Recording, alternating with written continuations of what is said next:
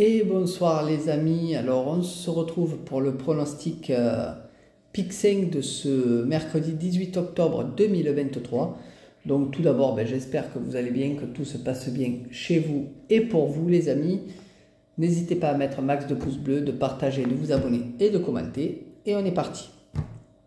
Donc ce sera là pour la première course, la R3 C8 à 15h52 à Deauville. C'est le prix Grand Canal du Havre. C'est du plat sur 1300 mètres et il y aura 16 partants.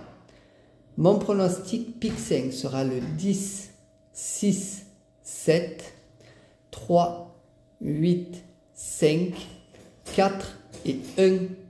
Mon regret sera le 9 et mon jeu simple, mon favori, sera le 10. Pour la deuxième course, ce sera la R1 C8 à 17h55 à Reims.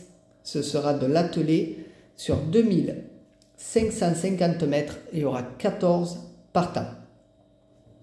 Mon pronostic pic 5 sera le 13, 8, 3, 7, 5, 4, 14 et 6. Mon regret sera le 10 et mon jeu simple, mon favori, le numéro 13. Bonne soirée à tous les amis, c'est assez tard donc moi je vais aller miam miam. Et euh, je vous dis à demain. Bye